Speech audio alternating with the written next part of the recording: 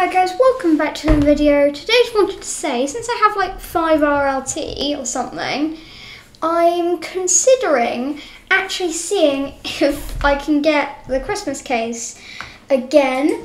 And I just want your thoughts in the comments on whether I should get it, should I not get it, kind of thing.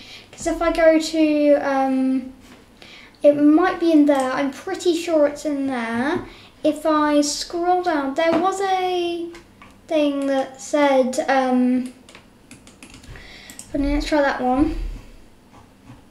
There was a one that had, go to store update, there was one, there we go, that said what the probabilities of each one is. So I'm thinking, do I get those or do I continue with my main, what I'm currently doing, which is getting two of each ones of the miners on here and watch what's that. And yeah, just need thoughts about that. Thanks for watching. Please like and subscribe. Bye.